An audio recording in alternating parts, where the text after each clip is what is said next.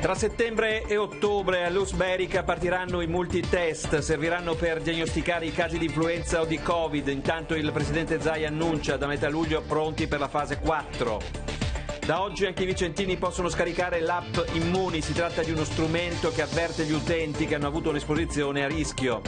Da oggi è possibile fare richiesta per il bonus affitti, ad usufruirne potranno essere le famiglie con reddito fino a 50.000 euro che dimostrino di aver dimezzato le entrate a causa del Covid e da domani si può rinviare il pagamento dell'IMU. Insediate anche in città e provincia le commissioni d'esame per la maturità, professori al lavoro per un esame mai visto.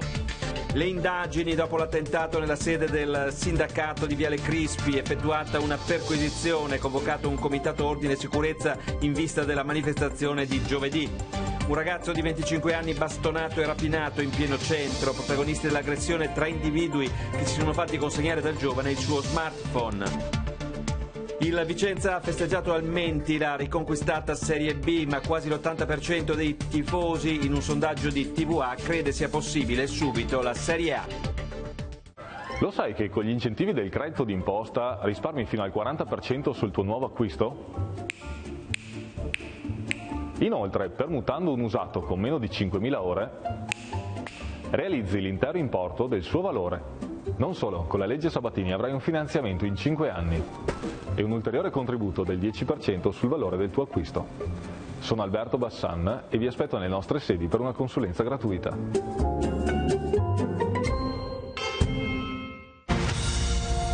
Siamo in prima linea per garantirvi i servizi essenziali e affiancare le famiglie e le imprese in difficoltà. Ci trovate telefonicamente e su appuntamento. Cassa Rurale d'Artigiana di Brendola. Insieme ce la faremo.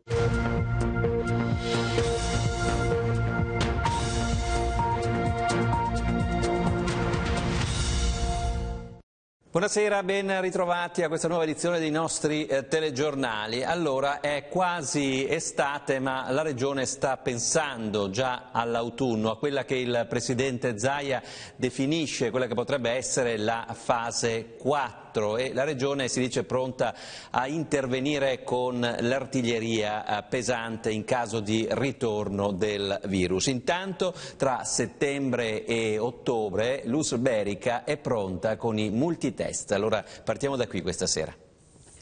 Erano appena 170 i tamponi anti-Covid eseguiti il 1 marzo 2020, un numero cresciuto esponenzialmente che il 12 giugno ha sforato il tetto dei 55.580 test. I test ci permettono di evidenziare prontamente gli eventuali casi positivi e successivamente fare l'indagine epidemiologica proprio per circoscrivere gli eventuali focolai che dovessero presentarsi. Tra i 500 e i 1000 tamponi al giorno che hanno permesso di individuare 1314 positivi, l'83% dei quali risultano negativizzati. Negli ultimi giorni solo tre i nuovi casi. 13.000 i test sierologici effettuati fino ad oggi nel Vicentino, soprattutto sul personale sanitario e su coloro che sono ospiti o lavorano nelle nostre case di riposo.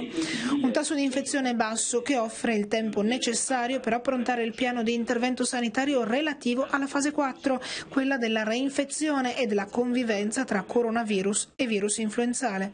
Se le terapie intensive ora sanno come comportarsi, la psicosi della popolazione andrà domata e ancor più sarà necessario avere personale sanitario formato e macchinari pronti alla diagnostica differenziata test multipli sono una nuova sfida perché voi avrete a che fare con una popolazione che avrà un quadro respiratorio da settembre in poi in cui bisogna escludere il Covid dal resto del virus respiratori, influenza, parainfluenza e così via, virus respiratorio sensizionale. Per fare questo bisogna assolutamente attivare dei test multipli che però abbiano un costo sostenibile e che permettono in una fase sola, cioè su un tampone nasofaringeo, di differenziare il Covid rispetto agli altri. Essere pronti ad una reinfezione autunnale è il nuovo traguardo della medicina, che prevede comunque un grande sforzo in termini economici e di formazione del personale sanitario. Pensate che sarà una fase comunque complicata, per questo il piano dovrà essere scritto con molta attenzione. Dovremmo comunque schierare l'artiglieria pesante e qui ci dà una mano la diagnostica ad esempio, perché dovremmo subito attuare la discriminante tra i Covid-19 e quelli non Covid-19. Vaccino antinfluenzale, distanziamento sociale e aiuto della tecnologia potrebbero quindi essere tre ingredienti fondamentali per sconfiggere il Covid-19. E da oggi è scaricabile anche nel Vicentino l'app eh, Immuni, eh, i medici dicono che è una opportunità e invece tra i vicentini ci sono opinioni eh, contrastanti. Pazzi per Immuni. L'app è da oggi scaricabile da tutti gli italiani. Immuni aiuta a notificare agli utenti il possibile contatto con persone positive al Covid e sta ricevendo il plauso della maggior parte dei vicentini che la giudicano uno strumento valido per tenere sotto controllo l'infezione. Già fatto da 15 giorni. Quindi lo ritiene uno strumento valido? Assolutamente sì. Non ha paura di privacy Assolut- violata? No, no, ho solo paura del, del Covid. Ritengo sia utile e poi insomma, è un modo anche un po' più innovativo per capire e gestire la cosa. Sì, assolutamente sì, siamo infermiere quindi perché no? Tutto può essere utile. Ormai si fa tutto telematicamente, quindi sicuramente. Disponibile negli store digitali dal 1 giugno, l'applicazione è già stata scaricata da 2 milioni e 200 mila italiani. Il Veneto non faceva parte delle quattro regioni pilota che avevano avuto modo di testarla in anteprima già dieci giorni fa. Nonostante questo, il mondo della medicina afferente all'Urs Berica 8 l'ha accolta con positività, giudicandola un metodo di contact tracing efficace per creare un'ulteriore cintura di sicurezza attorno alla popolazione sana. L'applicazione, così come è stata concepita, ha proprio la finalità di eh, aiutare a, a eh, identificare i contatti di casi accertati. Se questo succede poi c'è l'opportunità di mettere in quarantena chi è stato entrato in contatto o di fare i tamponi. I primi risultati sono arrivati dalla Liguria, dove durante il test si è verificato lo sblocco di tre codici dell'app su altrettanti soggetti trovati positivi. Per avere i risultati relativi al nostro territorio bisognerà attendere qualche tempo, ma come è successo in Corea, l'utilizzo del digitale per gestire l'emergenza ha aiutato molto. Qualche scettico però permane. Non sia uno strumento valido, penso che sia più valido un discorso di test o di tamponi piuttosto che questa app. E voltiamo pagina perché è corsa al bonus affitti, c'è un eh, boom di richieste per appunto accedere a questo fondo regiona, regionale per gli affitti. Domande da oggi al 5 luglio per via telematica. Già corso al bonus, 400 euro, sono un contributo importante per chi è in affitto e ha un reddito familiare sotto i 50.000 euro. È corsa il bonus affitto. Il 15 giugno era la prima data possibile per l'invio della domanda, ma nei patronati è già pioggia di richieste. La domanda va presentata esclusivamente via web e direttamente alla Regione del Veneto. Noi non abbiamo ancora, tra l'altro, scritto niente sui siti nostri per fare pubblicità al servizio, eh, che naturalmente offriamo ai cittadini, e già eh, arrivano telefonate nelle sedi sindacali.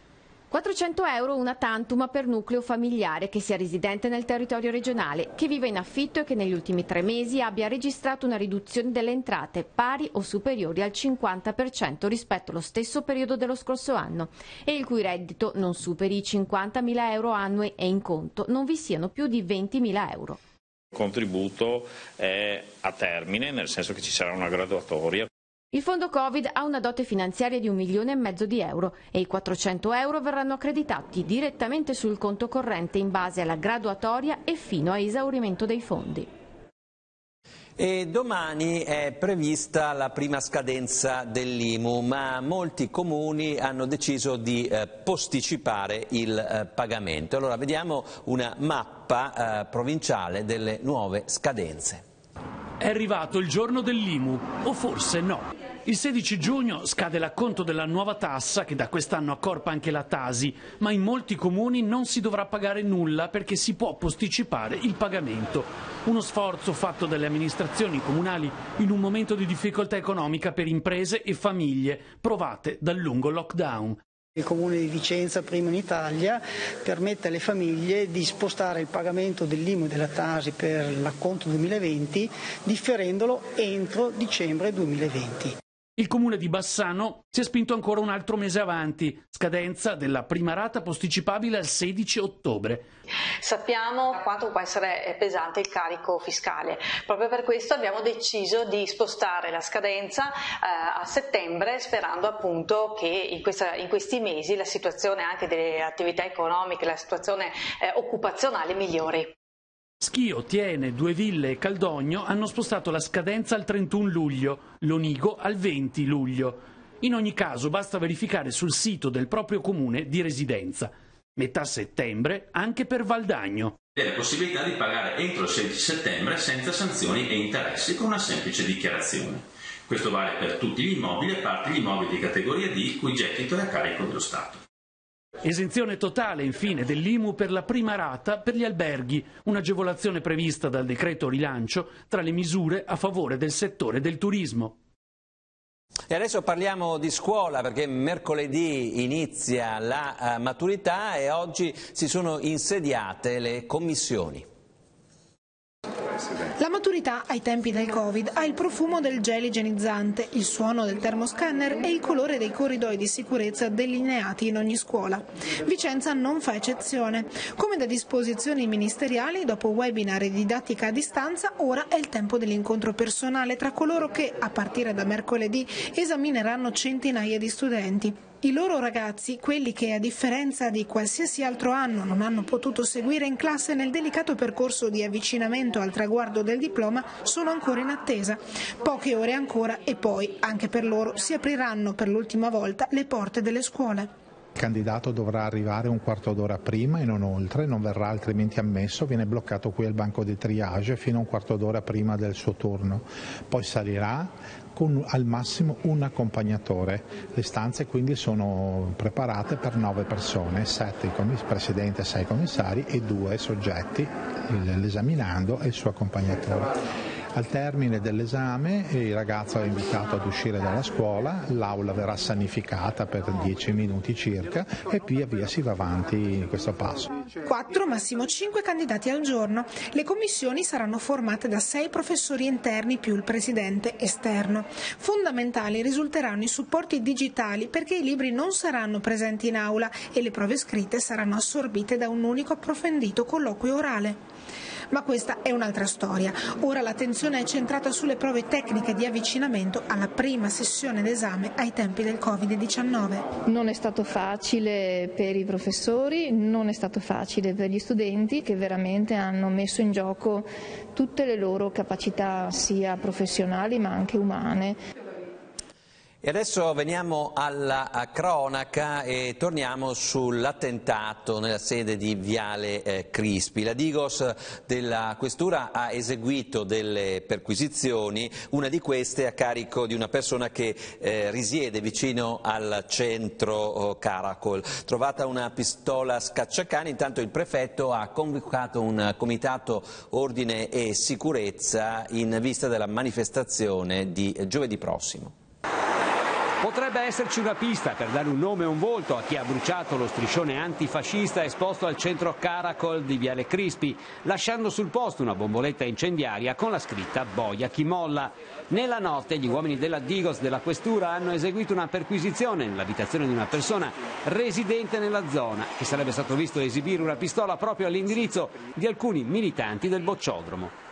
La perquisizione ha permesso di trovare materiale di chiara impronta ideologica e una pistola. Si tratta comunque di una scacciacani, pur fornita di fondina. L'uomo in questione e i rappresentanti del bocciodromo avrebbero avuto più volte occasione di scontrarsi, almeno verbalmente, e non è detto che ora le indagini sull'attentato incendiario non si possano focalizzare.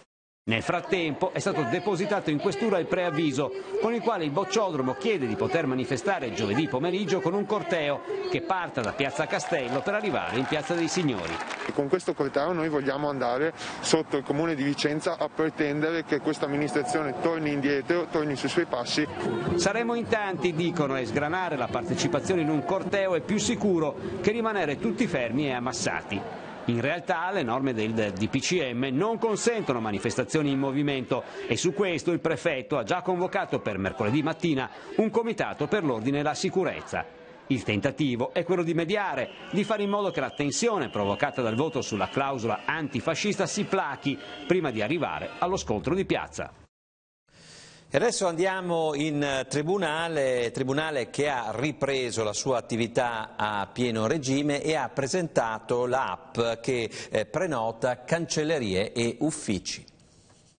Il Tribunale in un clic. Il processo telematico, le cause discusse in videoconferenza, gli appuntamenti presi attraverso il sito web e da oggi anche attraverso un'app scaricabile sul proprio smartphone.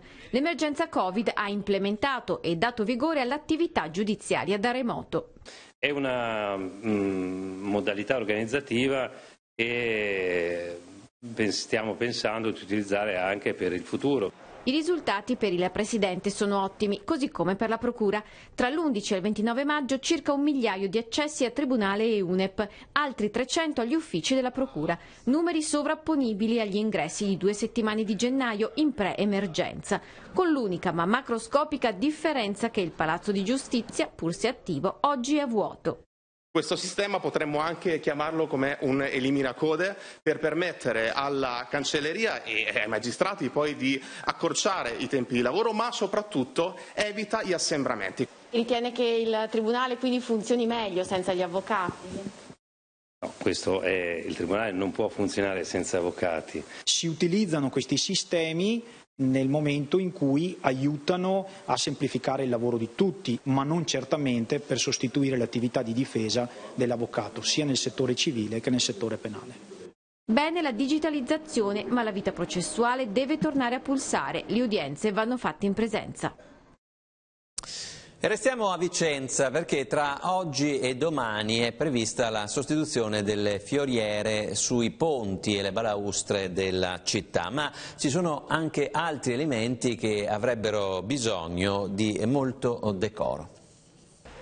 Se ne vanno i fiori da Piazza Biade e da tutti i ponti e le balaustre della città, pronti però a ritornare domani, più belli e in salute. AIM, AMCPS ha ritirato tutte le fioriere, un centinaio, e provvederà a riposizionarle con la messa a dimora delle nuove piante. Avranno varie essenze che possono essere della sempreverde piuttosto che qualche fiore e andremo a distribuirle su tutte quante le zone della città, quindi 10 ponti e alcune balaustre come quella di Piazza Biade dove andremo a ripristinare tutta quanta la fioritura. Intervento da 20.000 euro, che quest'anno è slittato da inizio aprile a metà giugno per i motivi che conosciamo. Operazione Green chiusa in tempi record, dicono Ierardi, e l'amministratore unico di MCPS Carlo Rigon. Green come il colore, fin troppo vivace, delle fioriere, che però non cambierà. Di restyling avrebbero un gran bisogno anche i cartelli e segnali stradali della zona Pomari a Vicenza Ovest. Ecco una carrellata delle situazioni che si possono osservare tra strada delle Cattane, via Fermi, via Piero Pan e limitrofe segnali più orizzontali che verticali, pericolosamente inclinati sui marciapiedi, totalmente scoloriti. Staranno aspettando che cadano per non doverli rimuovere, ironizza un passante. C'è da sperare che non sia così. Rieccoci, ripartiamo dai pellegrinaggi, pellegrinaggi a Lourdes, perché l'Unitalsi, dopo l'azzeramento delle partenze a causa dell'emergenza pandemica, sta eh, preparando un pellegrinaggio ma in versione ridotta. Dal dopoguerra non era mai successo che venisse bloccato il pellegrinaggio diocesano a Lourdes. Il Covid-19 ha stoppato i viaggi di migliaia di infermi, disabili, malati che ogni anno percorrevano 1240 km per raggiungere il santuario sui Pirenei, ma entro il 2020 è prevista una partenza, anche se in forma ridotta. Un mini pellegrinaggio a Lourdes verso la fine dell'anno, sempre che la Francia eh, ci lasci passare e, e, e non ci siano eh, contagi in Italia. Insomma. E nel frattempo Unitalsi ha vinto la strenua battaglia per avere treni meno scomodi in cui ospitare malati in barella, medici alle prese con flebo e carrozzine. Sono stati rifatti completamente gli interni, quindi più confortevoli, eh, rimessi a nuovo e, ed erano entrati nel circuito, nel circuito, europeo passeggeri, quindi con tempi di percorrenza da Vicenza a Lourdes molto ridotti. Non più viaggi che duravano un giorno e una notte, ma una percorrenza tagliata di almeno sei ore. Intanto il prossimo appuntamento con Unitalsi sarà circoscritto nel Vicentino a metà settembre a Monteberico e Chiampo, due giornate attese da barellieri, medici, infermieri, sorelle di assistenza. Ma il coronavirus ha bloccato anche le giornate nazionali Unitalsi, con le piantine di ulivo e l'olio per la raccolta fondi, quanto mai preziosi per far fronte alle spese e aiutare chi non può permettersi il viaggio le piantine di ulivo e l'olio. Le abbiamo tutte in sede, se qualcuno vuole venire a prendersele, eh, ben volentieri. Per premiare un campione, scegli il numero uno. Fax, dal 1966, fabbrica artigiana di coppe, medaglie e trofei. Fax, a Caldogno.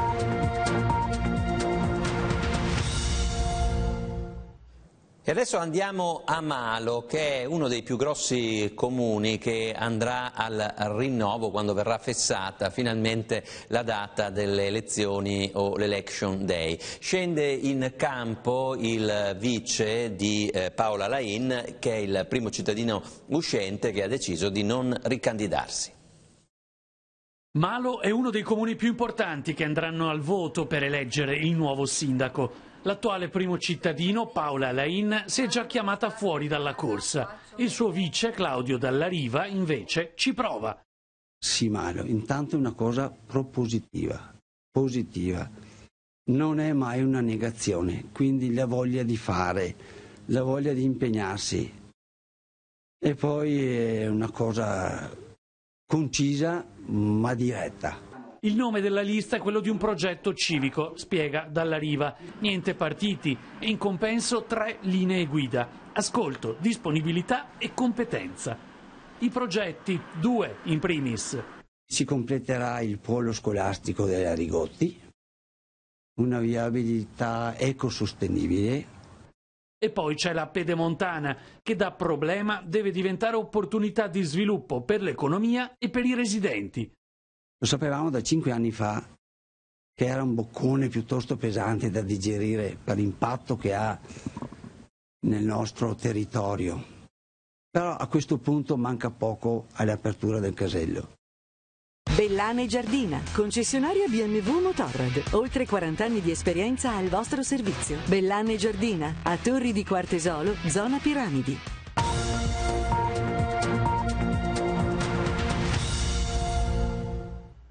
E adesso andiamo ad Arzignano dove questa mattina i vigili del fuoco sono intervenuti per un principio di incendio in via Zara. I pompieri arrivati dal locale distaccamento, entrati nell'abitazione, indossati gli autoprotettori, hanno subito estinto il focolaio che ha interessato il piano cottura e la cappa aspirazione. Fumo all'interno di tutta la zona. Giorno. L'allarme alla sala operativa è stata data da un vicino che aveva visto uscire del fumo fumo. Fortunatamente non ci sono stati feriti. Berica Carburanti, il tuo punto di riferimento è fiducia. Berica Carburanti, un pieno di qualità e convenienza.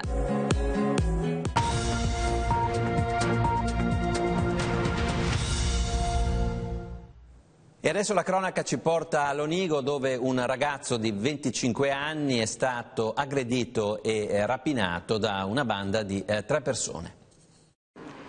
Stava passeggiando in pieno centro a Lonigo sabato sera quando è stato aggredito da tre sconosciuti. La brutta avventura è toccata a un ragazzo di 25 anni del posto, preso a bastonate in testa e costretto a consegnare il suo smartphone. Il giovane, dovuto ricorrere alle cure dell'ospedale, ne avrà per una decina di giorni per un brutto trauma cranico. Dopo la denuncia, arrivata ieri mattina, i carabinieri hanno avviato indagini che si affidano principalmente alle immagini del servizio di videosorveglianza. Sull'ennesimo episodio di violenza interviene il sindaco che osserva amaramente. A Lonigo abbiamo un problema che purtroppo è annoso e non si vuole risolvere. Il nostro comando dei carabinieri è sotto numero, come anche altri per carità.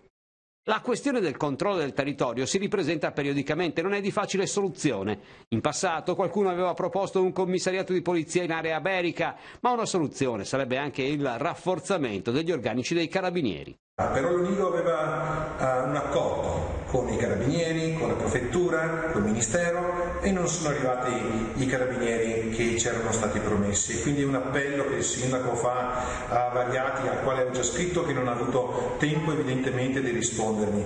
L'Onigo ha bisogno di carabinieri per fare ciò che altrimenti non possono realizzare. L'aggressione dell'altra notte non può essere considerato un episodio isolato e anche zone che fino a poco tempo fa potevano considerarsi tranquille, ora tanto serene non sono più. La verifica e la certificazione della sicurezza in ambito industriale e civile sono fondamentali per tutelare quel bene prezioso che è la vita. A tale scopo dal 2005 un partner professionale affidabile per datori di lavoro, responsabili di impianti, amministratori condominiali e amministratori pubblici è Triveneto SRL, ente autorizzato presso i Ministeri dello Sviluppo Economico e del Lavoro e accreditato da Accredia. Grazie a un team giovane di alto livello e costantemente aggiornato, Triveneto SRL effettua servizi di verifiche periodiche e certificazioni su ascensori, macchine, impianti e attrezzature. Le attività ispettive che svolgiamo per l'industria sono le verifiche degli impianti di messa a terra, è un'attività obbligatoria per legge dal 1955. Le altre attività ispettive che facciamo nel mondo industriale sono le verifiche degli ascensori. Un ultimo settore molto importante sono le verifiche delle attrezzature di lavoro. Le attività ispettive in ambito civile si distinguono tra cogenti e volontarie. Le attività cogenti sono le verifiche degli ascensori che vengono fatte ogni due anni da parte di ingegneri e attività di verifiche sugli impianti di messa a terra laddove ad esempio nei condomini con portiere figura l'amministratore di condominio come datore di lavoro. L'ambito volontario sono tutte quelle attività di verifiche ispettive che il proprietario responsabile dell'impianto o l'amministratore di condominio vuol fare per dare un'evidenza del livello di sicurezza di impianti e o attrezzature. Triveneto SRL con sede principale a Cornuda nel Trevigiano ma presente anche a Bergamo, Trento e Trieste, effettua inoltre attività ispettive negli appalti pubblici, negli ospedali per quanto riguarda ascensori e impianti elettrici e per conto di Enel, controllando la sicurezza intorno a cabine e impianti di illuminazione pubblica. Il passaggio che dobbiamo cercare di fare è quello di creare una cultura della sicurezza che permetta finalmente di ottenere un livello accettabile che comporta poi la sicurezza da parte di tutti i cittadini e utenti affrontare mondi come quello civile e come quello industriale. E siamo allo sport, il Vicenza ha festeggiato in famiglia la promozione in Serie B, però i eh, tifosi attraverso un nostro sondaggio hanno detto che la Serie A per il Vicenza è possibile anche subito. È già alta la febbre da tifo dei tifosi dell'Ane. Ecco l'esito del sondaggio sulle ambizioni nel prossimo campionato di Serie B. Per il 79% il Vicenza può centrare subito l'obiettivo Serie A. Il 21% pensa che sia bene fare un passo alla volta. Durante lo speciale di TV a Notizie anche il reportage della mini festa biancorossa al Menti, finita con la coppa al cielo.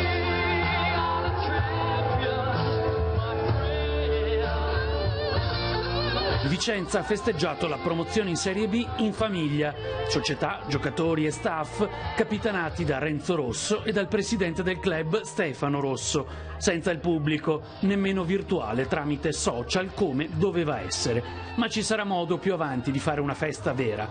Intanto i saluti del mister. Abbiamo vinto, ma non possiamo festeggiare insieme a voi, ma ve la dedichiamo. Ok? Ci sarà un momento migliore a luglio o agosto di stare insieme e festeggiare insieme. Però questa squadra qua è stata fantastica. Serietà, dedizione, lavoro e vittorie. Siamo in Serie B grazie anche a voi. Una B gigante dall'accoppiata Padella-Marotta, il centrale della difesa meno battuta d'Italia e il giocatore più istrionico del gruppo. Volevamo dedicarvi questa lettera che è il simbolo della stagione, la Serie B conquistata insieme a tutti voi e non vediamo l'ora di vedere l'anno prossimo questo stadio pieno per giocare la prima di Serie B insieme a voi.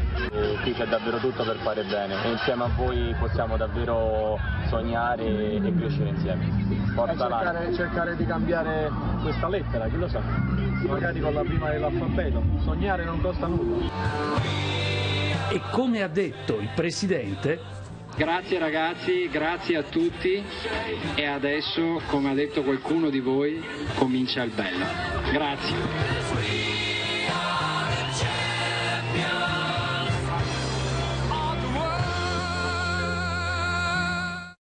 E adesso ci colleghiamo con il giornale di Vicenza. Mercoledì Inizia una maturità come non l'avete mai vista. Esame solo orale, distanze di sicurezza, insegnanti con la mascherina, ma anche le solite ansie degli studenti. Le Ulze del Vicentino hanno fatto il punto per quanto riguarda gli ospiti delle case di riposo. La situazione post-Covid sembra tornata alla quasi normalità. In arrivo la figura del direttore sanitario. Abbiamo voluto capire come si stanno organizzando i piccoli cinema di provincia dopo la riapertura delle proiezioni. E a proposito di via libera, analisi anche per il settore degli alberghi che tornano a vedere i primi turisti e operatori.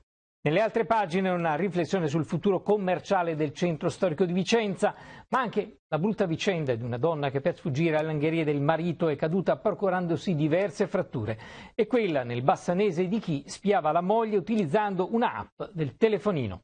Poi la storia di un quasi ottantenne che viaggiava su una moto di grossa cilindrata e dopo essere caduto è stato colpito da un malore fatale. C'è una vera e propria banda che nel Tianese agisce a danno delle colonnine dei self-service carburanti. Infine per il calcio è sì al rinnovo del contratto per il centrocampista e capitano biancorosso Cinelli.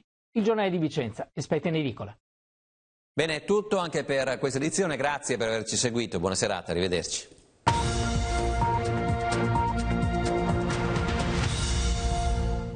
Siamo in prima linea per garantirvi i servizi essenziali e affiancare le famiglie e le imprese in difficoltà. Ci trovate telefonicamente e su appuntamento. Cassa Rurale d'Artigiana di Brendola. Insieme ce la faremo.